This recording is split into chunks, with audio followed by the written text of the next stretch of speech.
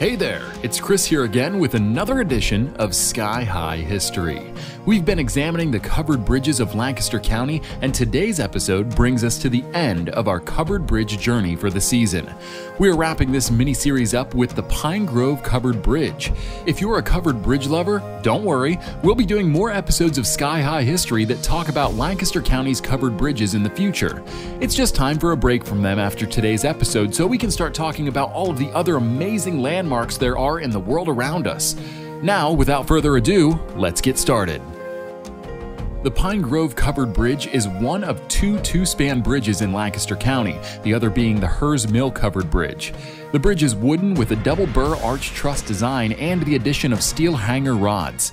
The outside of the bridge is painted the traditional red color seen throughout Lancaster County's covered bridges, but the inside is totally unpainted, bearing the natural color of the wood used in the construction of the bridge. The entranceways on either end of the bridge are painted white, as is also tradition in Lancaster County covered bridges. The Pine Grove Covered Bridge spans the Octoraro Creek and connects Lancaster County to neighboring Chester County. At 195 feet long, the Pine Grove Covered Bridge is the largest covered bridge in Lancaster County. It is also 15 feet wide and has a clearance height of 10.5 feet. The Pine Grove Covered Bridge was originally built in 1816 and then rebuilt in 1846 by Robert Russell and Joseph Elliott for a total price of $1,494. After being destroyed by a flood, it was rebuilt in 1884 by Elias McMellen. Two of those three gentlemen were name dropped before in this miniseries and are popular among covered bridge enthusiasts. In 1980, the Pine Grove Covered Bridge was added to the National Register of Historic Places.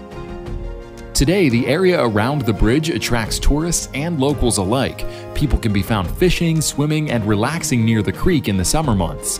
Photographers can be found there year round, capturing the bridge in the ever changing seasonal landscapes. Over the past five weeks, we have touched on one of the many defining features of Lancaster County in the form of covered bridges. People far and wide come to Lancaster County every year to get a taste of the Pennsylvania Dutch lifestyle and will stop to gaze at these historic landmarks that have been helping Lancasterians get around for over a century. As I stated earlier, we are not finished with covered bridges, but it is time for a break from them. If you liked this video, please take the time to give it a thumbs up here on YouTube. While you're at it, also click that subscribe button to stay connected with me and my content. Your subscription helps me in my quest to reach 1,000 subscribers, which would allow me to monetize my content and, in turn, fund my drone adventures to deliver bigger and better videos. If you really want to stay connected, hit that bell icon after subscribing to receive notifications every time I post a new video. Subscribing to my channel costs you nothing and means everything to me as a creator here on YouTube, so thank you in advance. Until next time, I'm Chris, and I hope your day is as great as you.